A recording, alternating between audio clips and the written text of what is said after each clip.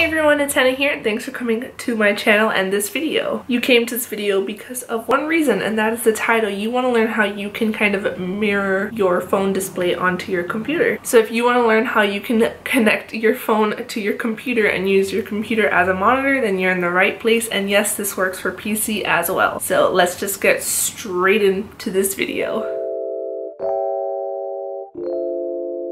Point you just want to make sure you have your phone connected to the computer already and I have done this using a USB cable. Once you have already connected your phone to the computer you want to go ahead and just open up QuickTime Player which I already have right here. Most Macs already have this on this on their computer but if you don't have QuickTime Player for any reason I'll make sure to go ahead and put their download link down in the info box and also for PCs as well. Once you already have a QuickTime Player open right there you just want to go to the top menu bar and click on File file and you're just going to click on new movie recording.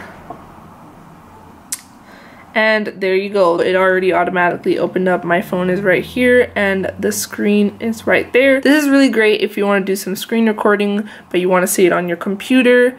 Um, it's also really great for if you want to take pictures or videos. It's great for video as well so there you have it guys. Alright guys, that is it for this video. I hope it was a helpful one. And if you like these kind of videos and you want to see more videos like this, then go ahead and like this video and comment down below if you have any questions, concerns, or anything else. But other than that guys, make sure you subscribe to my channel if you haven't already. Make sure to click the notification bell button so you're notified on when I post new videos because you know the deal with that. And other than that guys, Oh, and make sure you follow me on all my socials at the Henna Ali. I'm really popping on the gram and I've just recently started to get really active on Twitter. So go ahead and make sure to follow me there. And alright guys, I will see you in the next video. Alright, bye.